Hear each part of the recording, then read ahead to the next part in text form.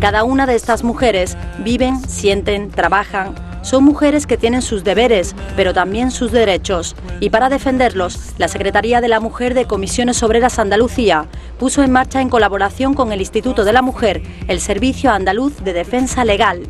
Un servicio gratuito de defensa jurídica y procesal que ayuda tanto a las trabajadoras afiliadas como a las no afiliadas en temas de discriminación laboral. Unas consultas que han aumentado en los últimos años gracias en gran parte al papel que desempeñan los delegados sindicales en las empresas. Empezamos con, con, una abogada que cubría toda Andalucía. Actualmente tenemos tres abogadas para cubrir toda Andalucía. Y el número de expedientes también hemos crecido de manera importante. Empezamos en el 97 y ahí tenemos la, la gráfica que se puede ver, eh, con 25, creo recordar, 25 expedientes a, pasar a, a, 265 el año 2008 y el 234 expediente del 2009. Las funciones que hace el delegado o delegada en los centros de trabajo es fundamental en los temas de discriminación por causa de género, puesto ayuda a la trabajadora cuando llega con el problema a determinar que exactamente es un problema de discriminación. Los delegados y delegadas de comisiones obreras de Jaén están más que acostumbrados a tratar y asesorar a trabajadoras que denuncian problemas relacionados con la maternidad, el acoso sexual, la reducción de jornada. Por eso cumplen a rajatabla el protocolo de actuación establecido por el sindicato. Cuando nos llega alguna compañera con algún problema por razón de género, pues como delegados lo que hacemos es informarla, orientarla pues le damos un pequeño asesoramiento y luego la acompañamos a la Secretaría de la Mujer de la Unión Provincial y allí pues la ponen en contacto con el Servicio de Defensa Legal. Un asesoramiento que le ofrecieron a una trabajadora de Úbeda, cuyo caso conocen muy bien.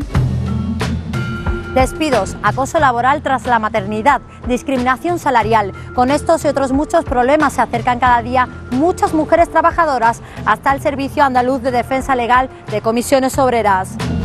Pero para conocer en profundidad cómo puede ayudar este servicio a las trabajadoras, les presentamos en primera persona un caso real. Trabajo en el sector agroalimentario en la provincia de Jaén, en Úbeda, concretamente en una almazara de, de, aceite. Cuando yo me quedé embarazada de mi tercer hijo, decidí acogerme al derecho de la reducción de jornada. Mi jefe me dijo que no, que no me la podía dar. Entonces, desde ese, desde ese mismo momento, eh, me cambiaron de puesto de trabajo. Nosotras las mujeres cuando nos incorporamos al mercado laboral nos incorporamos con toda la mochila cargada de lo que son las tareas de cuidado y las responsabilidades domésticas. En el momento que una trabajadora se queda embarazada, el empresario ve, no solamente ve a la trabajadora, sino ve todo ese volumen, eh, todo lo que lleva conlleva en la mochila, que es lo que él, según eh, yo creo que erróneamente, eh, cree que le va a suponer una, un problema para su organización de trabajo.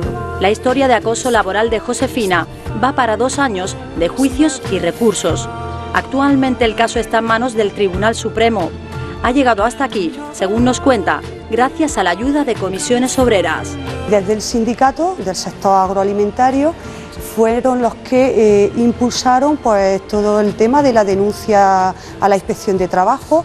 Eh, también muy importante gracias también a la Secretaría de la Mujer, pues recibo apoyo judicial gratuito. Un día a día que Josefina soporta con el apoyo del sindicato, pero sobre todo con el cariño de su familia.